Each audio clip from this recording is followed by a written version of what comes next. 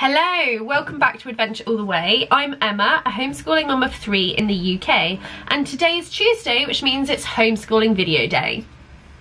Today I want to chat about different types of home education or homeschooling, um, specifically ones that are um, most common in the UK, and I have seven I want to talk to you about today. Um, we'll start off um, with a few different ones, and then at the end we'll talk about the one that I specifically do with my children.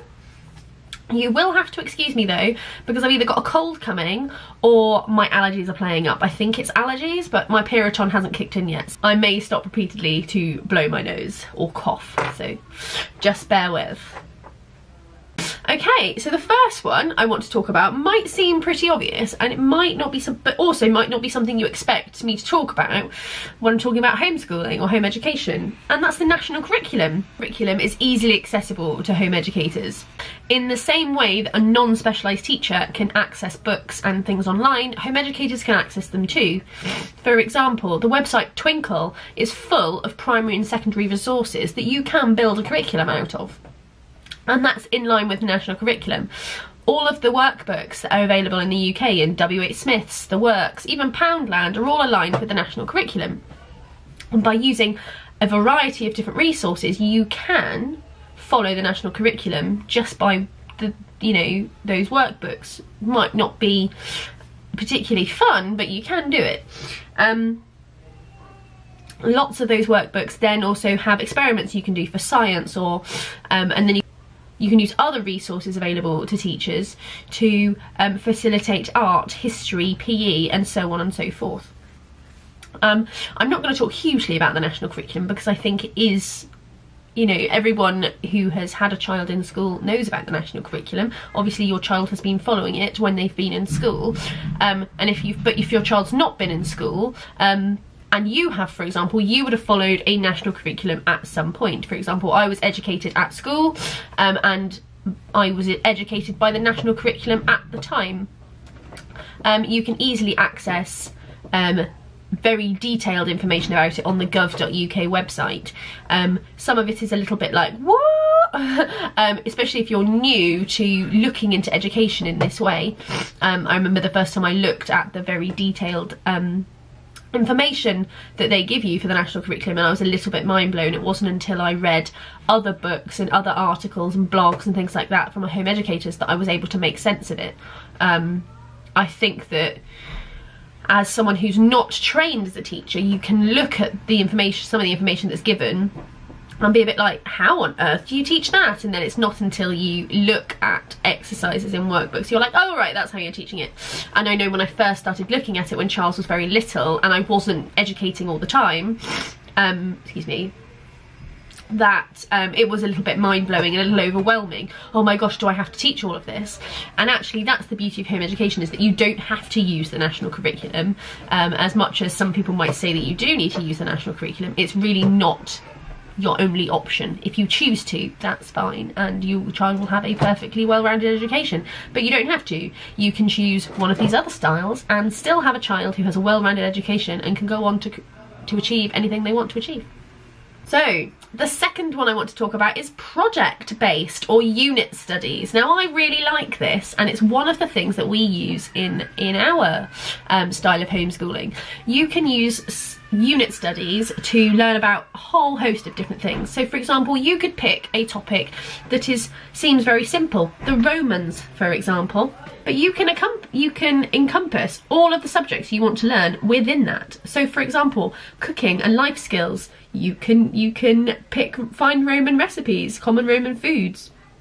You can do art, you can do science, you can do maths, how many centurions are in this line? And and you know if if there were 24 centurions and half of them left to join another regiment how many would be left? And so on and so forth. You can do these things. Um, and of course reading and spelling. How do you spell amphitheatre you know there's there's lots of different ways to um, encompass all subjects into unit studies. Um, one of our favourite things to do is make a lap book and I will include that in another video at a later point because lap books are really fun. Um, and basically we use paper document wallets, we rip them, well not rip them, we cut them apart so they open like a big book. Excuse me i know i'm constantly sniffing. Um, and and then we then we use them like a presentation booklet. So we'll have um, the romans for example there will be um, things about their way of life. Um, my son will always choose my eldest son charles will always choose to pick you know centurions or some kind of war history because he's very interested in that sort of thing. Um, much like my husband and my dad actually. Um, they were so he will always pick like oh how, did the centurions live what did they wear? Where did they go? Um, who did they meet? That sort of thing. Uh, whereas my daughter is more likely to pick um, how children were were being raised in Roman times and, and what toys did they play and how did they go to school and how did they dance and what what art did they what art did people enjoy and what food did they eat? She's a lot more um, interested in living history in that way um, about the regular people. Um, my personal, first, if I was choosing, I would want to know about uh, Roman gods and goddesses, and I would want to know about, um, you know, uh, very important people. So you know, and how they lived, particularly the women. So say you know Caesar's wife and things like that. Like what were they getting up to? but but you know you can encompass that into your project that everyone including yourself as their parent or carer can um, can be learning something too. And you can do your own lap book. Who says that it's just the kids who have to do lap books and unit studies? You can do it too. Have fun. Learn alongside them. That's what makes it so exciting. So the third one I want to talk about is religious homeschooling. Now this isn't something I have a huge amount of expertise in because I am not one of the main religious groups. Um, most most people who are that I am aware of who are doing religious schooling are Christian homeschoolers. So they will have Bible study as a big part of their day.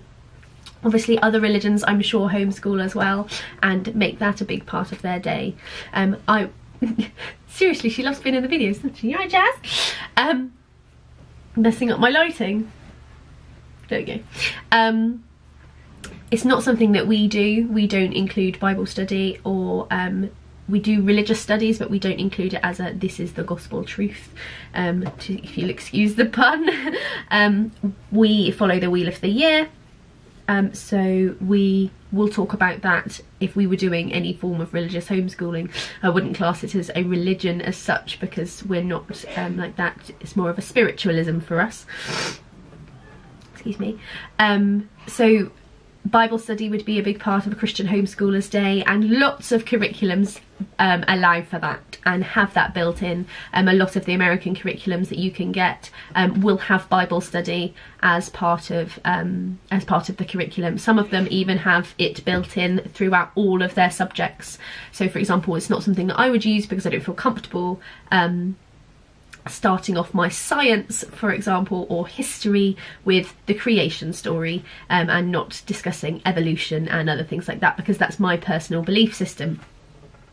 Um, but if someone is um, subscribing to that belief system and they feel comfortable with that, then there's a lot of homeschooling um, curriculums that um, that teach that um, belief system when it comes to science and um, history. Um, it's a very, um, I don't want to say Christian washed, but it, it, it is. It's very, um, it's very Christian centered and has all of their, um, all of the beliefs, all of the stories are interwoven into every subject. Um, I can't speak for other religions when it comes to um, homeschooling and homeschool curriculums because I don't think it's readily available. Um, yeah, so it's not something that I have seen or searched for personally. If you know of any um, any resources that have um, Muslim homeschooling or Jewish homeschooling or Hindu homeschooling or anything like that, then please let me know. If you are one of the, if you are in one of these religious groups and you are homeschooling and you are using your um, religion as a big part of your uh, curriculum and your day-to-day -day homeschooling, please leave me a comment. Let's have a chat. I would love to hear more about how you do that. Number four is one of my favourites, but not something that we we really prescribe to and that is Charlotte Mason. I know a lot of people who follow Charlotte Mason's philosophy of teaching and uh, there's a lot of her, her things that I'm very interested in as well but it's not suited to my children specifically. So Charlotte Mason is all about living books and is heavily centred on arts and nature. It's also Christian based, but unlike some curriculums, is easily ignored if you're not uh, not interested in that sort of thing. you you can very easily make it about the Wheel of the Year or make it about other um, other religions. So one of the things that Charlotte Mason um, believed in was that you shouldn't do big periods of study. So you shouldn't have an hour lesson, for example.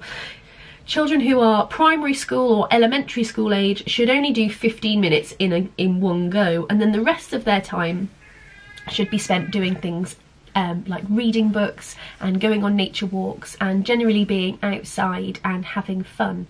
Um, and then she allows a little bit more extra time for children who are of high school or senior school age um, but obviously once they get to that age sitting down and doing things is probably a bit more up their up their street than um, than it is for a primary school or elementary school child. I know my children who are in primary school, one is um, of key stage 2 age and one is key stage 1 and the other was is, is pre at preschool.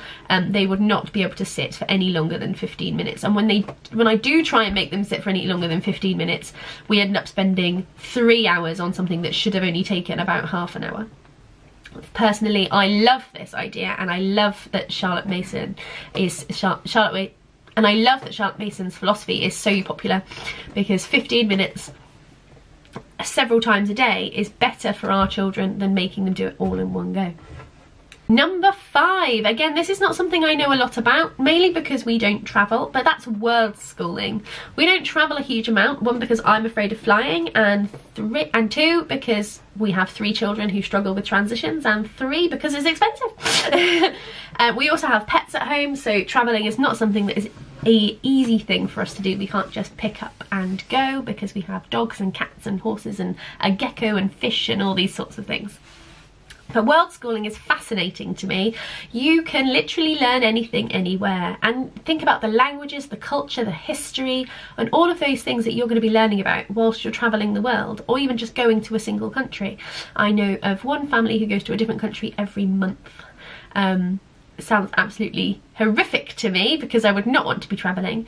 Um, but it's also if it, all of that uh, culture that you're soaking up and all of the things within that culture must be so educational. And um, I'd love to hear about it. If you are a words world schooler then please get in touch. I would love to hear about your travels. I love hearing about other people's travels but I do not want to go on them myself. Number six is unschooling or autonomous learning. Unschooling and autonomous learning is all based on the fact that you can trust your child to learn what they need to learn based on their environment. For example, they needed to learn to walk, so they did. They needed to learn to talk, so they did. They used, they learned to use the potty, they learned to eat with a knife and fork. All of these things are built into their environment, they learn how to do. And that's the same thing. Eventually, if they are exposed to reading, they will learn to read. If they're exposed to writing, they will learn to write, and so on and so forth. There's lots of information about it and there's a, um, a really good book that um, I will link below that talks about um, how to deal with common issues that unschoolers worry about or um, unschoolers often face um, with other people having opinions about the way they're doing it. Excuse me. Oh, tickly nose is driving me insane. It's not something that we follow specifically, mainly because our three children are either on or likely on the autistic spectrum and they need a bit more routine. The lack of structure of unschooling just doesn't isn't suited to our way of life and it isn't suited to the neurodiverse people in this house.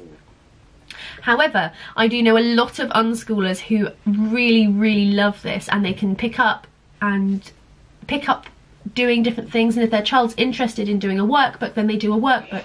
It's all about the child leading their education. And um, I guess we do pick up elements of that in ours because we do believe that the children should be largely responsible responsible for their education because at the end of the day it is their education. And finally our style of homeschooling, which is called eclectic homeschooling. And it's literally what it says on the tin. We pick and choose our favourite parts of all the different types of homeschooling that suits us and make it into a style that suits us in all, uh, suits our individual family. So, for example, we use the national curriculum for English, maths, and science because we feel that this is the best choice for our children. But we also use different things that are Charlotte Mason based, for example, a nature study, and the fact that our children don't do any more than 15 minutes at a time. We also spend a lot of time outside and we also do a lot of art. We also do a little bit of unschooling. For example, if the children wake up and they are really having a high anxiety day or low mood or incredibly hyperactive, we do no sit down learning. We go outside or we play and we learn and then we do and then the children do learning through play or they learn outside in a Charlotte Mason kind of way. So all of our so our style of homeschooling is a real mix between several different types. And this is what suits us best as a family with three neurodiverse children and two neurodiverse parents. Really one size just doesn't fit all. For example the national curriculum on its own would definitely not suit our three children and it certainly didn't suit Philip and myself when we were at school However, for me personally, I think that a Charlotte Mason style would have suited me personally as a child, and I imagine a um, whereas something like unschooling would have probably quite suited Philip. However, I think it would have also meant that he didn't have a well-rounded education because he would have not picked any languages, he would have not picked to do any English, and he would have solely done maths and science, um, maybe with a bit of PE thrown in just for fun. But uh, it's uh, it would certainly have suited his personality better. Um, our children enjoy elements of the national curriculum. They also really enjoy project-based learning, um, which for us, when they do project-based learning, it's project-based about the things that they are particularly interested in. So for example, um, our history and geography curriculum is based on projects. Um, this year we are covering the world as a whole, the United Kingdom, and then a joint project that Charles and Bessie have chosen, which is China and Australia we're splitting that project into two to encompass to uh, allow for the children to do what they want to do. And our history is going to be toys and games uh, the stone age and the, the stone age and the iron age. We will be doing project-based learning for these three but this is also autonomous because the children have chosen our topic titles. As you can see, our style of homeschooling is very mixed between lots of different types and um, but we wouldn't be classed as autonomous because we do make them do English, maths and science and we do make them do the national curriculum English, maths and science. Um, however, I also don't force them. I do say to them, this is the English and maths you have, this is the science you have, let's get on with it. And if they choose not to, if they are very um, against the idea, then we don't do it, we do something else. But there is not another option for their English, Maths and Science and I do like to tick off in my head each day um, if we haven't sat down and done workbooks, well that can be covered as English, that's science, that's maths. And I have a checklist in my mind. Um, I also like them to do some art or something creative every single day because I feel that's very important, especially for my three children who are incredibly creative in their own different ways. Um, so we all have something that we like to do that's creative and it's something that's heavily encouraged by Philip and I all the time. So, I hope you've enjoyed my little video about styles of homeschooling and I hope it's taught you something. I would love for you to teach me something, so if you have a different type of homeschooling that you use, please get in touch and let me know. I would love to do a video with you about what you do. Um, and if you're one of the ones that I don't have a lot of information about, for example, religious homeschooling or world schooling, please, please get in touch because I would love to learn more about the way that you home educate your children. Thank you so much for watching and I will see you on Saturday for a lifestyle video and we are going to be doing back back to school clothes. We had an amazingly hilarious shopping trip to a local shopping centre and then we went to a local park and took some really great pictures and videos of us all in our fancy new clothes and I can't wait to share them with you and hope that you might be able to pick out some too. I'll see you later.